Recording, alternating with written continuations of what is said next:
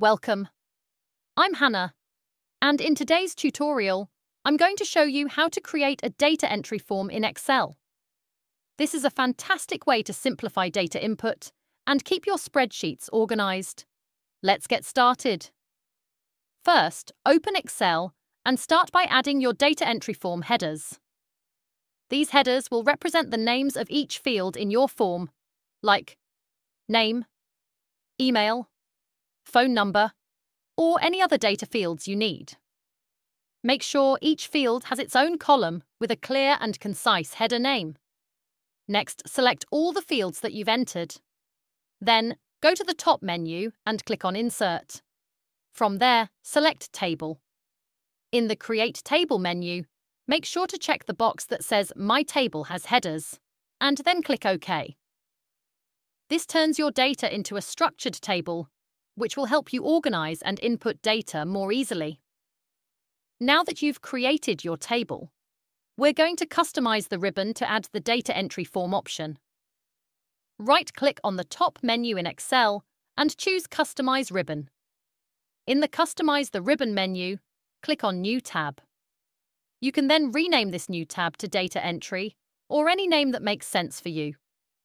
This tab will contain all the data entry features you need.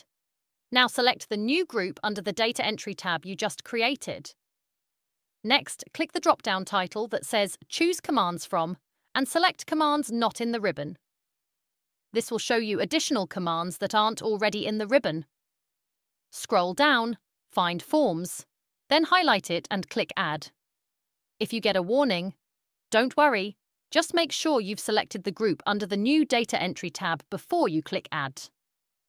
Once the Forms command is added, click OK to save all your ribbon customizations. Now, you'll have the Forms button on your new Data Entry tab. To use your new data entry form, simply highlight the table you created earlier.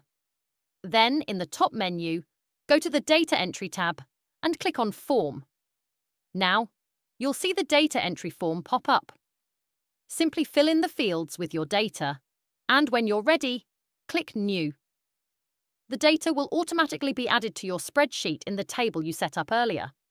And we can keep repeating the process we just carried out to add as many entries as you wish. And that's it.